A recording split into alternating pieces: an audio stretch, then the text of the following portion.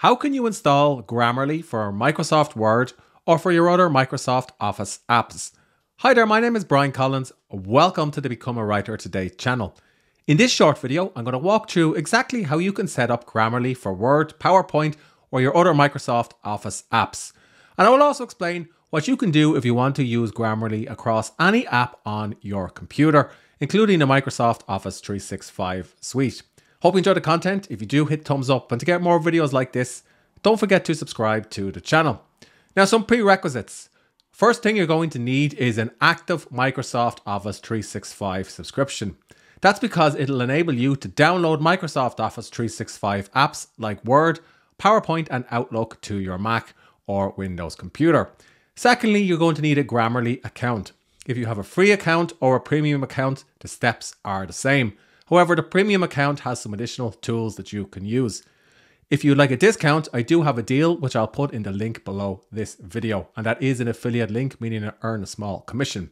Now, let me show you how to set up the Grammarly for Microsoft Office. So I've opened up Microsoft Word on my Mac. Now, the steps for this are pretty much the same for Windows. Previously, you used to have to go on to the app or add-in store for Microsoft Office 365 and add Grammarly that way. However, Grammarly has since stopped supporting the add-on that works directly with Microsoft Office 365. Instead, users should default to either Grammarly for Windows or Grammarly for Mac. Now, this may seem like a step back, but the great thing is that when you install one of these add-ons, it works in any writing application, in any of the Microsoft Office 365 apps, whether that's Word, PowerPoint, Outlook, or something else. So I'm going to go ahead and install Grammarly for Mac. Basically, it'll prompt me to download a file to my computer once I've signed up with my Google, Facebook, or Apple account.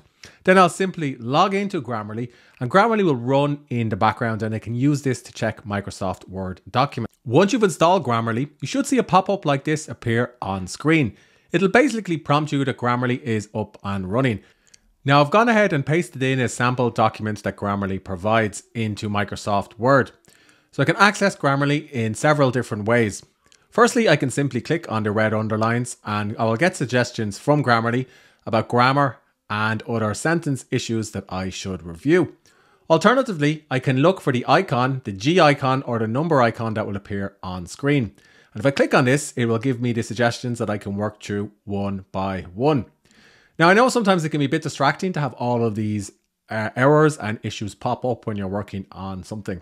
So what I would suggest you do is to click on the cog and you can turn off Grammarly in Microsoft Word for 30 minutes so you can work on your document. And then you can reactivate it when you want to check for other issues. So as you can see, it's pretty easy to use Grammarly on Microsoft Word. And the good news is when you install this desktop app for Windows or Mac, it'll work the exact same way across any of your desktop apps or wherever you write.